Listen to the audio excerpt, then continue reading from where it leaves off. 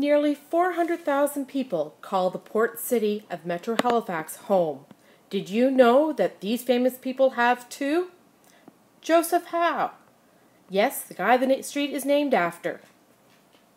Paul Gaultier, one of 40 most wealthy U.S. businessmen. Of course, famous brewer of our favorite beer.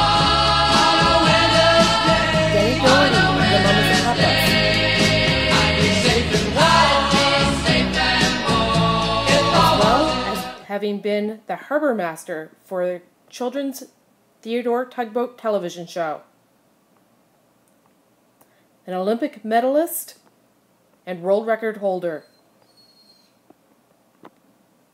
Famous NFL players. Amazing businessmen. Olympic skaters. And wonderful performers.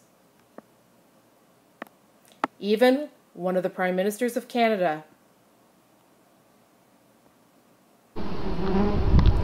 Inventors.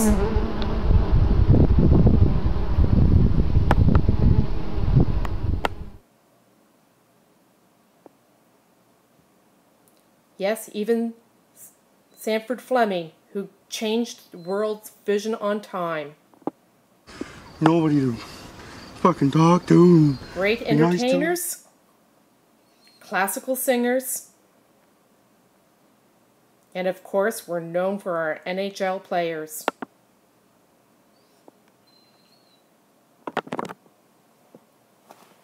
Some great, some have won the Stanley Cup.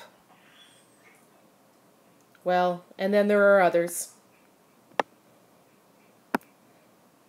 Even great NHL coaches. And a well respected referee. Well known songstress and Grammy winner.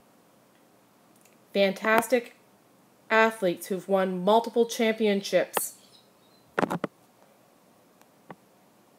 Even our Sergeant at Arms. An amazing scientist. Yes, all of these people have called our wonderful Halifax home at some point.